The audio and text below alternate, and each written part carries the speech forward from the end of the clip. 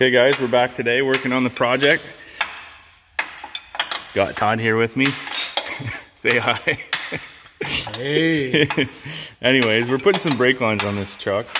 Um, we kind of skipped ahead here and got a few off, but I just want to show you what we're doing. So we're replacing the lines here from these um, diverter valves down to the brake chambers. We've got new fittings in, in the chambers as well as up here in the valves. And then we're just working on the bulkhead fittings here. So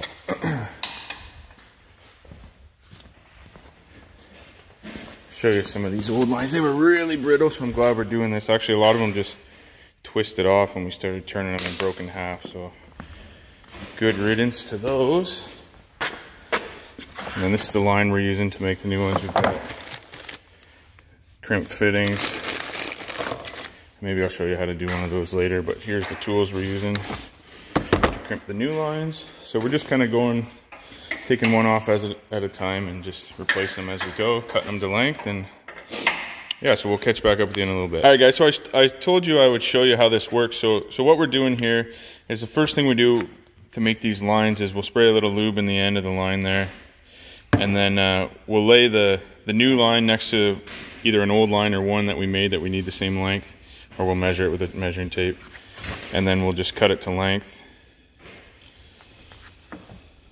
So he's got that there. We're using proper uh, hose or tubing cutters there so you get a nice square cut. So we cut that to length. Then the next thing we do is there's a, a barb fitting and a collar. So you put the barb inside the collar like that. Boom. And then we just run a nipple in the other end so when we push it on the hose there, it uh, butts all the way up tight. And he already put a little bit of lube and then we put this collar on the hose. We just push her in there until it butts up to the end. That looks good. And then we get our crimping tool, hold her up on its side there, yep. Just kind of, just like that. And we just start pumping until it gets tight.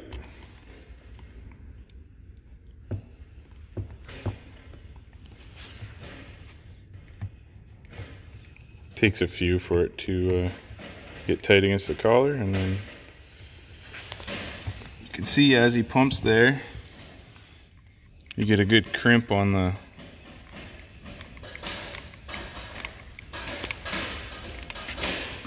and then when you can't clamp it with your hand anymore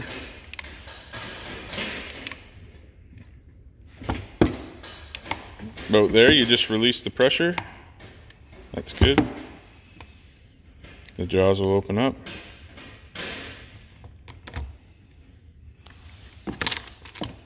And you got yourself a good uh, swivel fitting. And then when you're done, you got a line that looks like this with two good ends on it. That will just kind of snake around in there. One goes to the bottom and then the other one goes up here to this uh, fitting. You see Todd's putting one on there now.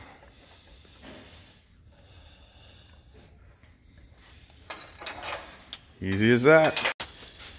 So there we've got the lead axle on the back done with these anyways. We're gonna replace a lot of these um, plastic lines as well. We just don't have the stuff today. So today we're just working on the bigger rubber air lines, you know, the ones that flex when the axle goes up and down. So we got these ones done. And you know, this is the shape that the back's in. So these actually just twisted off when we put a little pressure trying to get the, uh, the uh, fittings out. And these ones, they won't even come out. Like they're seized right in there. So it's a good thing we're doing this because that would have left us in a tight spot on the road someday. Uh, the back ones we're going to have a closer look at. They look like they've been replaced recently, but we'll probably end up doing those too. And then we were just talking about the front ones. They look pretty good.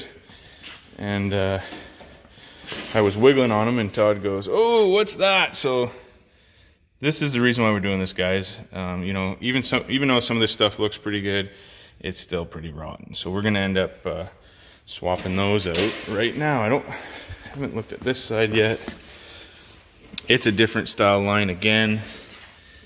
Um, there's just some paint coming out there. This one doesn't look too bad, but it looks a lot newer than the other side. But for sake of doing it, we might just change that one as well. So yeah, we'll catch up with you when we get those done.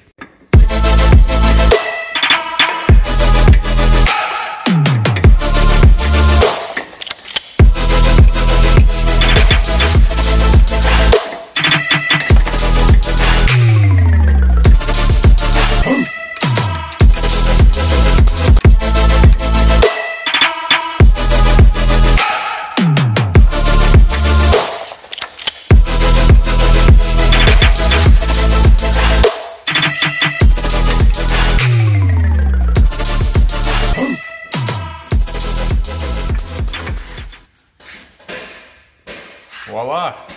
Then we got our line off, we'll go over the bench, we'll measure it up, we'll cut a new one, put the fittings in and replace it. And we just got those replaced and this is what she looks like now. And uh, we're kind of running out, we're missing a few fittings that we need, so that'll probably be all we do on the airlines for today. But yeah, there you go. We still gotta tie these up, so we gotta get some uh, some separator ties that go in here, tie them together, but keep them separate. And uh, yeah, should be good. I guess I forgot the other day to show you guys the inside of this thing, but ugh, I don't know how people can treat their trucks like this. Hey, dude. You could scrape about an inch of nicotine off the roof. But anyways, we'll get her swapped out. And I think that's all I have for you today. Thanks for watching.